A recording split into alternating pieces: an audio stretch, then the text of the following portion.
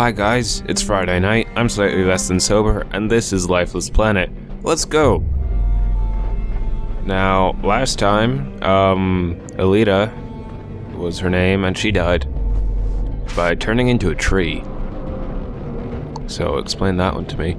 But that caused all of the uh, emerald fire, this green moss, it caused all of it to grow back in like five minutes which is kind of ridiculous, and I'm not sure how turning into a tree helps with that at all. But if that's how it works. And presumably this will generate oxygen, which will mean we can uh, finally get out of our spacesuit in order to die alone on a planet far from Earth. Which, I don't know, but I don't know about you, but that sounds like fun to me. Uh, okay, we clearly need to climb rocks. I am at least 10% certain that that is what needs to happen. It sure looks like it, like they're going in that direction. Yeah, yeah it is.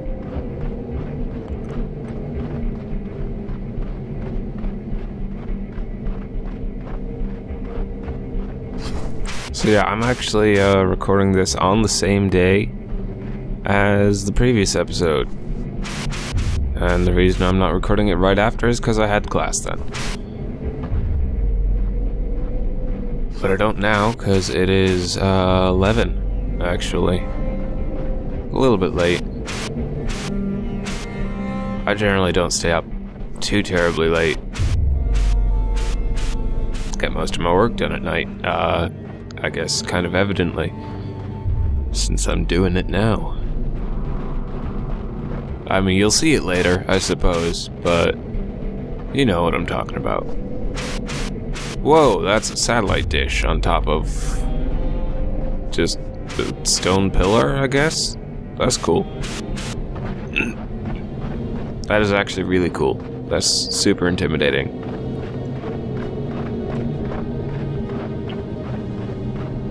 And boarded up. Does lead back to Earth, but hundreds of years in the future. What? Portal time. The portal to this planet was a one way transport mechanism, as we discovered following our initial arrival.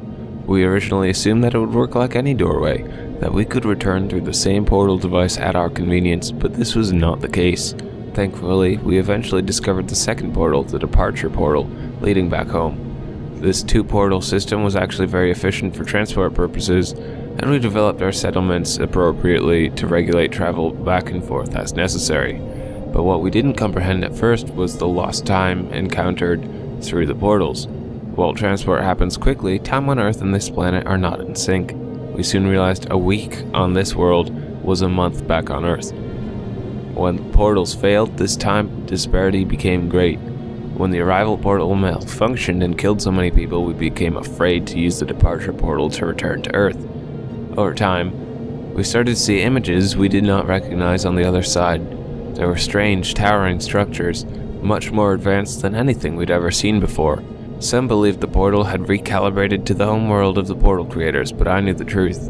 The images in the portal were of, of Earth, but centuries in the future, Unfortunately, we never tested our hypotheses given the completely unstable power reactions from the portal. It was far more likely we would suffer a tragic transportation accident like our comrades from home attempting to reach us. There were no volunteers, and eventually no further opportunities before the portal went dark and cold. In retrospect, I wish we'd taken our chances. Well, that's a little bit dark. Um, kind of crazy though, and I guess it explains how Alita is still alive because she was born in like the 70s, I think it was. Hmm, taking a drink of water. And now she's dead. So, no idea what year it is, but uh, RIP in peace.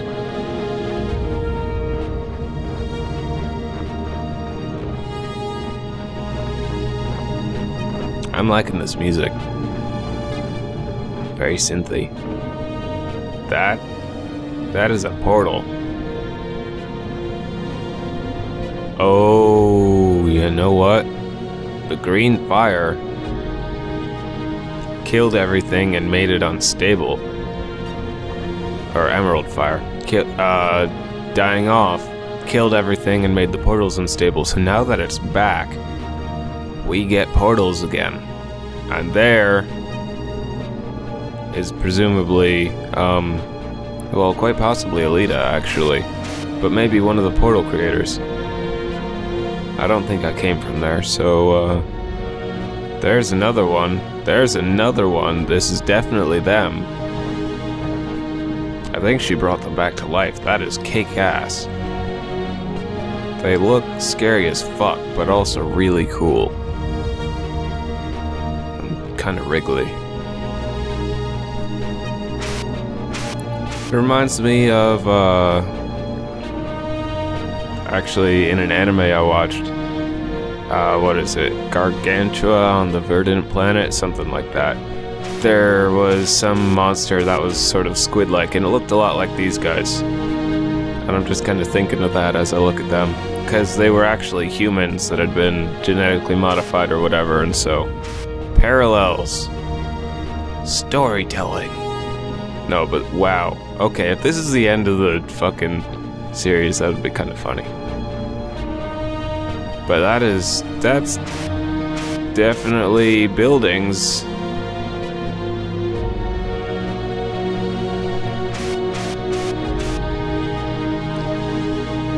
Even vaguely modern buildings, actually.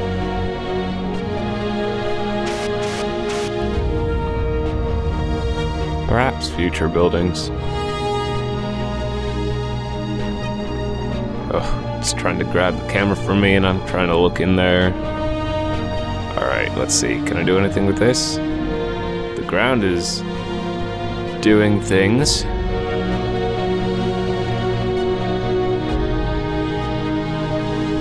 I think this might be the end.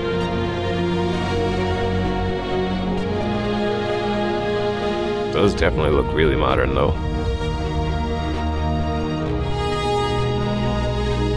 Well, well, not sure what's up there with the uh, lines. That's slightly strange. This is it. Wish me luck.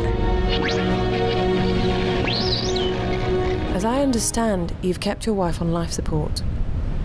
It sounds like you haven't been able to let her go. Actually, I did it for her. I want to give her every chance to live again. Even if I'm not here. Well, that's nice. Though technically, due to time dilation, uh, due to uh, traveling at twice the speed of light, you got here, or there, you may be back at Earth. You got to the planet uh, before you left Earth. No, this is this is after you left. Never mind. I was gonna say maybe there's a chance that since you got there before you left, now the future of when you got there is when you left and it all lines up, but no credits. Wow. So we may have slightly contributed to saving a dead planet and also went home. But to the future. So it's not really home.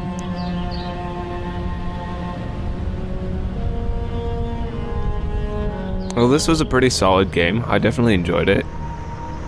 Um, yeah, I didn't really have any problems with it. It uh, the controls could be a little bit jerky sometimes,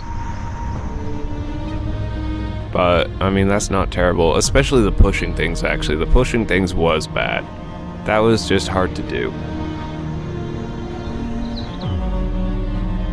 This looks like it's flickering to me. That's kind of weird. Wow, that's kind of off-putting actually. Not sure why. Hey look, Yogurt is a Kickstarter supporter. Good job, Yogurt. Uh, good for you. And also Base. I guess. Sure. I mean, why not? But yeah, um... I don't know how I'd rate it, like, out of 10 wise, but it's worth picking up if you like puzzle games, except I've just shown you how to solve all the puzzles, so maybe not so much. An interesting story, definitely, and I like what the uh, most about Earth? Russianness. Well, my wife, first of all, and then Earth itself. All of it. She saw the beauty of this planet long before I did. And now you're back to witness it You truly yourself. Of course. And if you lose someone you love, even 20 light years probably isn't enough distance to make you stop missing them. Oh ho ho ho ho ho. Um. Wait. Wait, is that suggesting Alita was in love with us? I'm not sure. It's a slightly open-ended um ending. open-ended ending. Anyway, uh like I was saying, yeah, it um no, I forgot what I was saying. The Russianness. The Russianness is cool just kind of because I know some Russian and I was like, hey, I can relate to things and kind of half understand things, and that was neat. I thought, honestly, that was just really fucking lucky. I, I mean, I kind of got it from this, but it, it was a comfortable level, I think. It works well for someone who doesn't know any Russian, and as someone who does know Russian, I had a little bit more fun with it. So, that is the end, I guess. I'm surprised I'm wrapping up this early. Didn't expect to run into the end yet. So I have to figure out what I'm going to be doing for next uh, series. But whatever it is, I hope you've enjoyed Lifeless Planet, and I hope you enjoy what's to come. So, as ever, I will see you guys next time. But not on the Lifeless Planet.